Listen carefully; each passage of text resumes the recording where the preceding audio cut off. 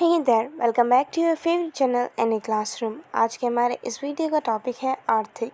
Video में हम जानेंगे इसका मतलब इंग्लिश में क्या होता है और इसे रिलेटेड सेंटेंस भी देखेंगे। वीडियो स्टार्ट करने से पहले आप सभी से एक छोटी सी रिक्वेस्ट है जो चैनल पर नए हैं। प्लीज़ चैनल को सब्सक्राइब कर लें और साथ ही साथ बेल आइकन को भी दबाएँ ताकि सारे वीडियो आप तक पहुँचें।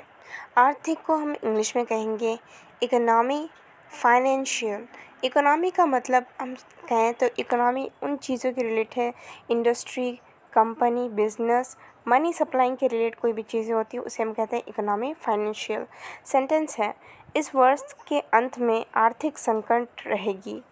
There will be an economic crisis at the end of this year मतलब कि इस ईयर के आखिरी में इकोनॉमी, इंडस्ट्री और बिज़नेस मनी सप्लाई के रिलेट बहुत ही परेशानी रहेगी, बहुत ही झमेला रहेगा। सो गाइस आई होप आपको इस वीडियो का टॉपिक समझ में आया होगा और आपको अगर पसंद आए तो प्लीज़ लाइक करें और सब्सक्राइब करें। Thanks for watching bye